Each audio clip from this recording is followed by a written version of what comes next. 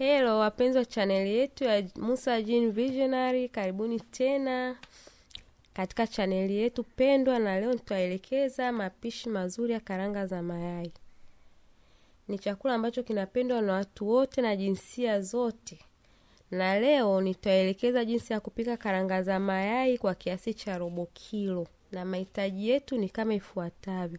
Kwanza unatakiwa na mayai mawili, uwe na karanga zako kama hizo robo kilo, sukari yako vijiko vitatu vikubwa vya chakula, unga ngano nusu ya robo, yaani ile robo naigawanya inakuwa nusu, usitie robo nzima ile, na baking powder kidogo sana. Utachukua karanga zako utazitia kwenye hizo bakuli safi ambao umeshachuja maji, kisha utachukua mayai yako utayapasua, utayatia kwenye bakuli lako, utayakoroga utachukua baking powder utaongezea pale pamoja na sukari yako ambayo nilikwambia vijiko vitatu, kisha utachanganya.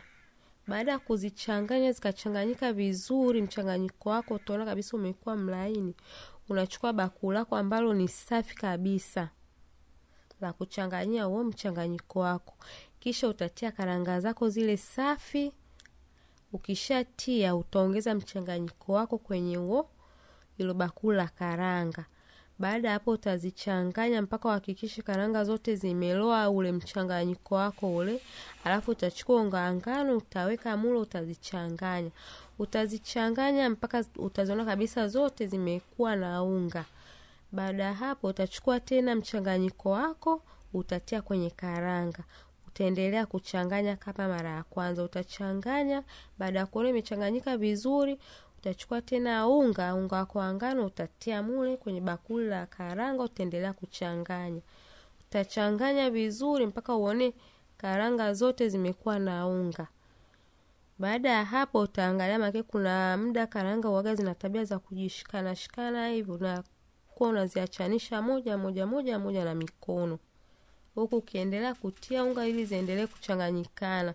Baada ya kuzigandua utaziona zote ziko moja moja kama hivi unavyoziona hivi, kwa sababu zikiwa moja moja, pia hata ukipika kwake zinakuwa zinaleta pia muonekano mzuri na pia zinaiva vizuri. Kwa hiyo sasa hapa utaona karanga zetu tayari zimekuwa tayari, zime zote ziko moja moja, hazijashikana na sasa hapa zinakuwa zipo tayari kwa kupikwa. Sasa hapa tunaelekea kwenye zoezi la kuzipika karanga zetu. Kwa hiyo tutawasha moto wetu. Utachukua kifaa chako cha kukaangia, kama ni sufuria, kama ni frampeni, chochote mwenyewe utakachokuwa unakiona rahisi kwako kwa kupikia karanga kwa kukaangia.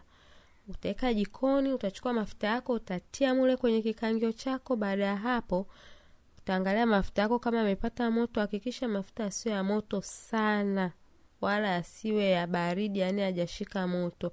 Na pia moto wako inabidi uwe wa wastani, usiwe mkali sana wala usiwe usiwe mdogo sana, kwa sababu kuwa mkali sana karanga zitakuwa zinababuka, haziivi ndani. Kwa sababu hapa kumbuka, kuna unga ngano nje ambao wenye mayai na ndani ndo kuna karanga. Kwa hiyo moto kuwa mkali sana, ina maana itaiva tu ile ngano ya nje, ndani karanga zako zitakuwa haziivi.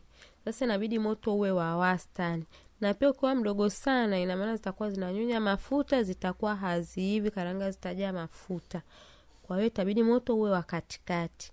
Utatia karanga zako, utaziacha zichemke, huku unazigeuza geuza na mwiko wako au kifaa chako cha kukaangia, unazigeuza geuza mpaka utakapoona zinabadilika rangi na kuwa rangi ya brown.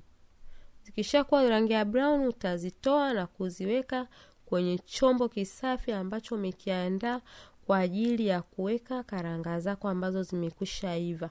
Na kwenye hicho chombo unaweza ukaweka na tishu pia, ili kama kuna mafuta mafuta inakuwa inasaidia kunyonya yale mafuta, ili karanga zako ziwe kavu kabisa.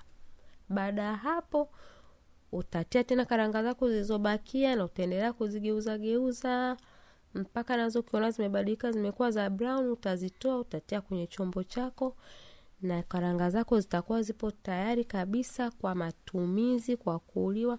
Na karanga zako unaweza ukatumia kwa kinywaji chochote, aidha juisi, maji, chai, soda, ni vile tuwe mwenyewe unavyokuwa unapenda. Na hapa ndo tumefikia mwisho wa pishi letu la karanga za mayai